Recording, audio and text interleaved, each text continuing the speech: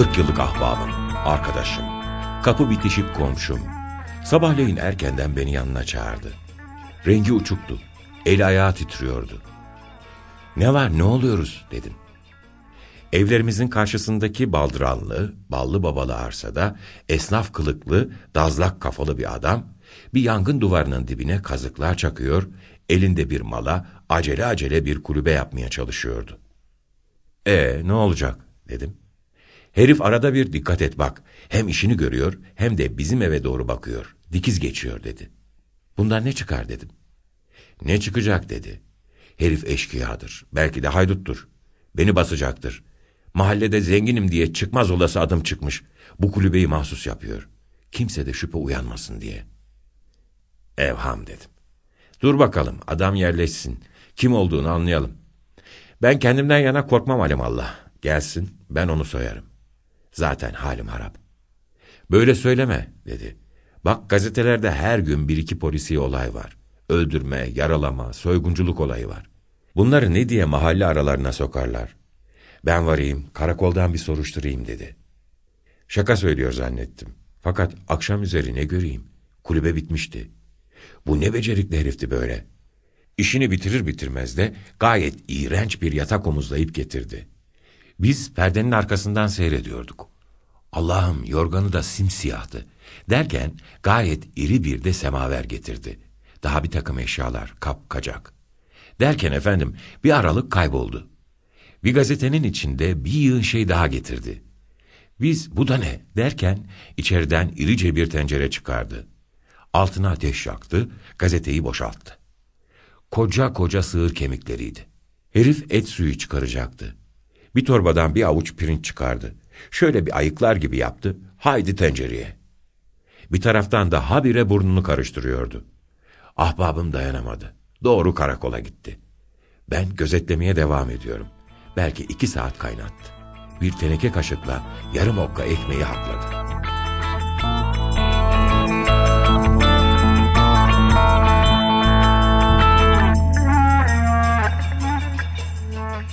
Necati soruşturmasından geç döndü.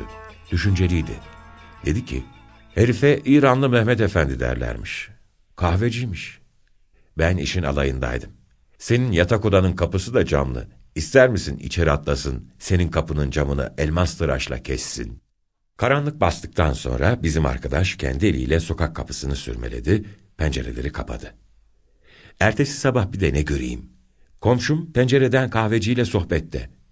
Ahbap vermişti. Herife diyordu ki, Mehmet Efendi bunu görüyor musun? Bu Bulgar manyeheridir. Güzel nişan alır. Bu altı patlar, Nagant. Bu da Browning. Adam da silahlar hakkında fikrini söylüyordu. Adeta bilgili bir adamdı. Necati benim pencereden baktığımı ve gülmekten kırıldığımı görünce fısır fısır dedi ki, Oğlum sen budalasın. Ben ona gösteriş yapıyorum. Senin anlayacağın meydan okuyorum. Gelirsen göreceğin var demek istiyorum. Bak Almanlarla Fransızlara. Fransa Dışişleri Bakanı Almanya'ya gider. Almanlar resmi geçit yaparlar. Alman Dışişleri Bakanı Fransa'ya gelir. Onlar da askerlerini, toplarını, tüfeklerini geçirirler. Alman Fransızı, Fransız Alman kuvvetini bilmez mi? Pekala bilir. Ama yine de kuvvetlerini bir defa gösterirler. Biz bir taraftan da herifi gözetlemedeyiz. Kahve iskemlelerini yan yana karyola gibi diziyor, üstüne yatağını seriyor, öyle açıkta uyuyordu. Bir gün, sineklerden rahatsız olmuyor musun Mehmet Efendi, dedik. Beni sivrisinek de tahta kurusu da yemez, dedi. Neden? Isırır ısırmaz ölür. Meğer kör olası esrar keşmiş de, bu sırada o pis kulübede kahve de işlemeye başlamaz mı? Kapıya gelen müşterilerin, civar esnafın, Mehmet Efendi bir şekerli kahve, zarif gel. Mehmet Efendi iki kahve, okkalı olsun. Ismarlamaları arasında Necati ahbaplığı alabildiğine ilerletmişti. Evdeki ahretlikle fincanını kendi gönderiyor, aromalı, güzel kokulu kahve getirtiyor, tatlı tatlı içiyordu. Ben, burun karıştırmasıyla lezzetli oluyor galiba, diye eğlenince, Mehmet Efendi hoşuma gidiyor, ehli keyif adam. Düşün, bekar, Ömründe evlenmemiş. Allah'tan başka kimsesi yok. Yatağını kendi yapıyor, kendi kaldırıyor.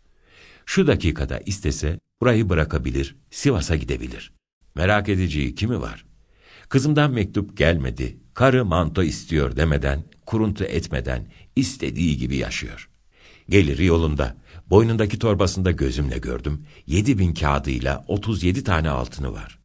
Manliher'le altı patları gösterişim boşuna olmuş dedi. Ahbaplıklarına diyecek yoktu. Hele bir akşam çilingir sofrasında bir kafa çektik ki sormayın. Adamcağız dayanıklı rakı içiyordu. Hani içtikçe daha ölçülü olan, halden anlayan adamlar olur ya, hani biraz daha içse dersiniz. Şair Firdevs gibi İran'ın Tuz şehrindendi. Bir ticaret kervanıyla İstanbul'a gelmişti.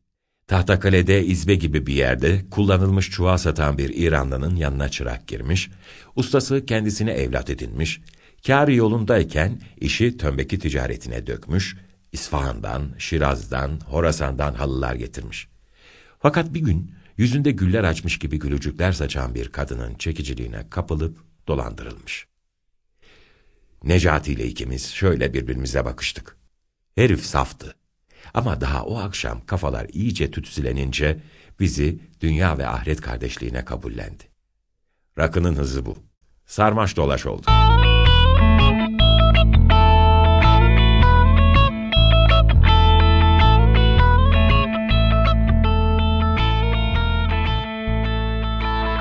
Artık biz de kulübe kahvenin müşterileri arasına katıldık.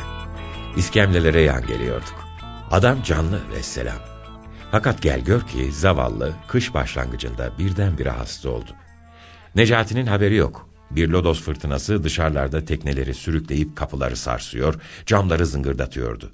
Sokaktan doğru bir inilti işittim. Mehmet Efendi'nin sesiydi. Necati'ye bağırdım, fener yaktık. Bir de kulübeye girdik ki bizim komşunun hali kötü. Ne oldu Mehmet Efendi dedik. Görünüşünden anladık ki son demidir. Ben fırladım bir hekim diye. İşaret etti ki gereksizdir. Beni soyun gibi bir şey demek istedi. Arkasından aba yeleğini çıkardık.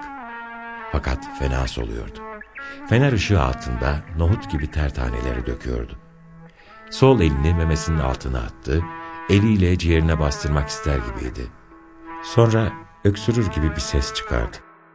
Bir Allah diyemeden yürüdü gitti.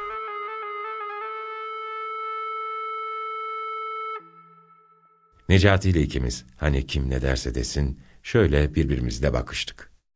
Yedi bin kağıtla altınlar. Ee, öyle kimsesi de yoktu fakirin. Mirasçı bulunamadığı için devlete kalacaktı. Define boynuna muska gibi asılıydı.